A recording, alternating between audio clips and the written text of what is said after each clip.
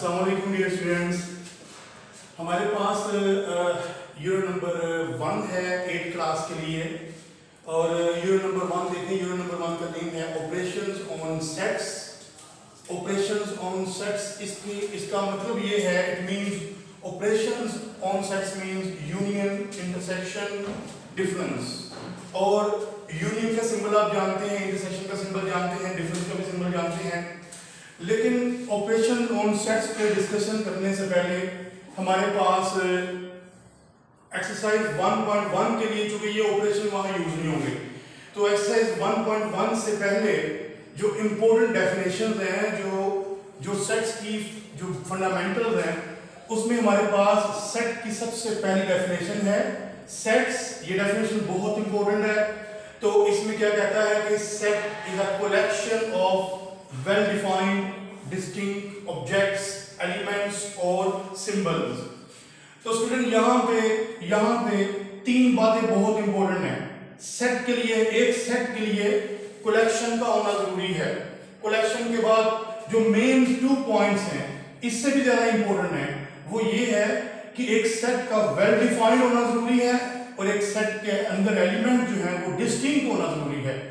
Elements بھی ہو سکتے ہیں، ٹھیک ہے جی؟ آبجیکٹس بھی ہو سکتے ہیں سمبلس بھی ہو سکتے ہیں نمبرز بھی ہو سکتے ہیں الفابیٹس بھی ہو سکتے ہیں۔ تو یہ ڈیفینیشن یہاں سے یہاں تک ہے۔ یہ ڈیفینیشن آپ پچھلی کلاس میں پڑھ چکے ہیں اور پچھلی کلاس میں بھی اس کو بڑے اچھے انداز سے وہاں وہاں پہ ڈیٹیل کے ساتھ جو ہے وہ کروایا گیا ہے۔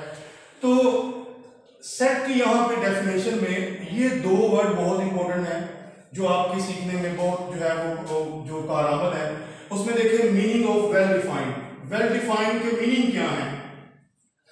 The set of players of cricket it is well defined players of cricket the set of students in a class it is well defined the set of boys in playground یہ بھی ویل ڈیفائنڈ ہے یہ تین example three different example میں نے آپ کے سامنے رکھی ہیں اور ان تین ڈفرنٹ ایگزامپل میں ویل ڈیفائنڈ کے میننگ یہاں پہ آ رہے ہیں the set of players of cricket کے پلیئر کرکٹ کے جو پلیئرز ہیں ان کا سیٹ اس کے انداز سے the set of students in class students کا سیٹ ہے یہاں پہ اسٹوڈنٹ جو ہے وہ یہ نہیں کہا گیا اسٹوڈنٹ کس لیول کے ہیں اسٹوڈنٹ جو ہے وہ وہ جو مسلم ہیں نان مسلم ہیں اسٹوڈنٹ جو ہے وہ ان کو ہے وہ براؤن آئیز اور بلیک آئیز یعنی کہ اسٹوڈنٹ کی کریکٹرسٹک یہاں پہ شو نہیں کی گئی سمپل لکھا گیا ہے the set of player the set of students in a class. اسی انداز سے let's suppose ہمارے پاس یہاں پہ اگر میں اس کی بات کروں، اس ایگزامپل کی بات کروں، تو اس ایگزامپل کا نوٹ ویل ڈیفائن ہونا کیسے ہوگا؟ یہ تو ایگزامپل یہ جو ایگزامپل جو ہمارے پاس ہیں number one number two number three یہ تو ویل ڈیفائن ہے لیکن اس ایگزامپل کا ویل ڈیفائن نہ ہونا، یہ کیسے پتا چلے گا کہ یہ ویل ڈیفائن نہیں ہے؟ تو فرض کریں، میں یہاں پہ یہ لکھتا ہوں the set of bad students in a class the set of bad student in a class یہ ویل ڈیفائن نہیں ہے اٹ مینس دیکھیں نا میری نظروں میں بیڈ اسٹوڈنٹ اور ہوں گے میری نظروں میں ایک اسٹوڈنٹ کا امیج اور ہو سکتا ہے ہو سکتا ہے کوئی ایک اینادر ٹیچر ہو اس کی اس کی نظروں میں جو اس کا جو اسٹوڈنٹ کا امیج ہے وہ اور ہو یہاں پہ میں دوبارہ اس ایگزامپل کو دوبارہ جو ہے ایکسپلین کرتا ہوں the set of students in a class اگر میں اس ایگزامپل کو یوں لکھ دوں the set of bad students in a class it means some specific students have a bad characteristic have a bad quality.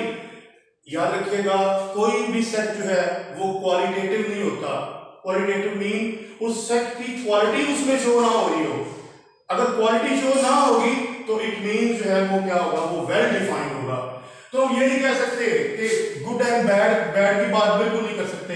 اگر سمپلی لکھنا تو ٹھیک ہے، لیکن فرق کریں، میں میں لکھتا ہوں۔ The set of players of cricket یہ لکھتا ہوں۔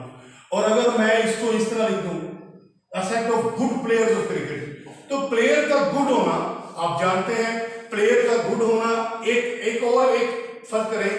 تھری نمبر آف پرسن ہے A B C three number of person ہے اور ان تھری نمبر آف پرسن کے سامنے تین پلیئرز کو ہم جو ہے وہ رکھ دیں۔ لیٹس سپوز تین پلیئر کو رکھ دیں۔ تو میرے نمبر ایٹ پرسن جو ہوگا، اس کے سامنے اس اس پلیئر کی کوالٹی کچھ اور ہوگی۔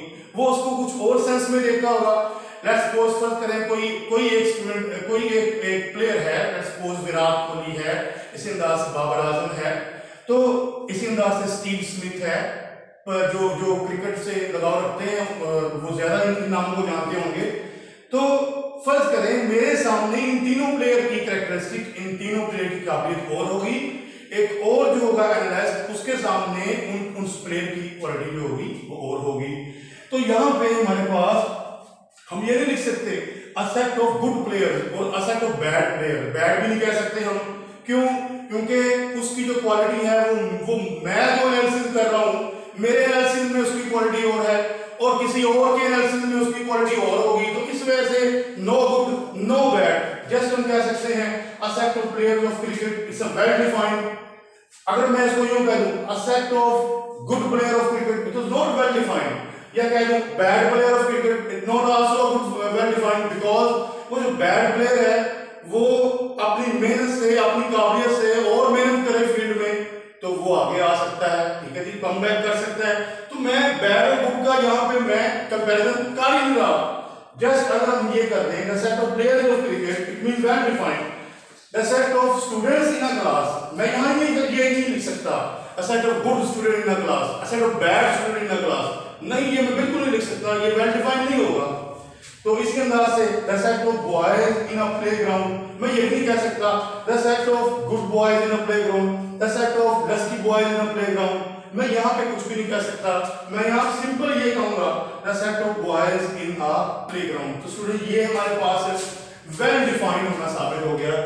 کسی سیٹ کا ویل ڈیفائن ہونے سے مراد کیا ہے کہ اس میں اس کی کوالٹی نہ نہ ڈسکس کی جائے۔ سمپلی اس کو سمپل ورڈ میں جس جس فیلڈ سے اس کا تعلق ہے، اس فیلڈ کو جو ہے وہ سامنے رکھتے ہوئے اگر اگر اس کا سیٹ بنا دیا جائے تو ہم کہیں گے کہ یہ ویل ڈیفائنڈ ہے۔ اسی انداز سے میں ڈیئر یہاں پہ ہمارے پاس یہ ورڈ ہے ڈسٹنکٹ ڈسٹنکٹ ڈسٹنکٹ ویسے یہ انگلش ورڈ ہے، اس کا مطلب ہوتا ہے کہ ایک ایک امتیاز امتیاز یہ ایک جدا ہونا، ایک الگ ہونا۔ فرض کریں یہ انگلش ورڈ ہے، اس کو میں یوں یوں کہہ سکتا ہوں کہ کوئی بھی اسٹوڈنٹ اگر پوزیشن لیتا ہے، اس کا مطلب ہے وہ ڈسٹنکشن ڈسٹنکشن میں ان ڈسٹنکشن اسے وہ پوزیشن لیا ہے۔ مگر سیٹ کے اندر ڈسٹنک کا ورڈ ہے، اس سے ہم مراد کر لیتے ہیں۔ سنائیں۔ جس ڈسٹنک لیٹر کے بارے میں بتاتا ہوں آپ کو کہ اس سے ہم کیا مراد لیتے ہیں۔ لیٹس سپوز ہمارے پاس ایک سیٹ ہے اے سیٹ تو اس میں سپوز کرتے ہیں اس اس سیٹ کے اندر لکھا ہوا ہے بی اے اے ایل اس سیٹ میں ایلیمنٹس دیکھیں۔ ایلیمنٹ ہے بی اے اے ایل تو یہ جو سیٹ ہے، یہ ڈسٹنک نہیں ہے۔ ڈسٹنک نہیں ہے، تو اگر یہ ڈسٹنک نہیں ہے، تو یہ سیٹ بھی نہیں ہے، تو it is not a distinct because A A occurs two times. A occurs two times. اسی انداز سے لیٹس سپوز ہمارے پاس ایک بی سیٹ ہے.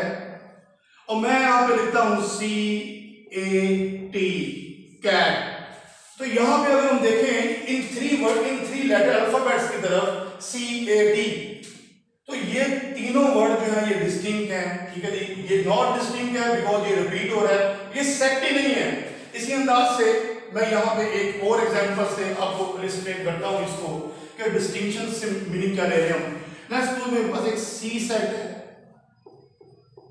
سی لکھتا ہوں one two two four one two two four تو یہ یہ بھی سیٹ نہیں ہے۔ کیوں؟ کیونکہ اس میں ٹو ٹو جو ہے وہ ٹو ٹائم کر کر رہا ہے، ٹھیک ہے جی؟ تو یہ ڈسٹنگ ایلیمنٹ کے سیٹ نہیں ہے۔ ڈسٹنگ ایلیمنٹ کے سیٹ کب ہوں گے؟ یہ انشاءاللہ آپ کو بتاتے ہیں۔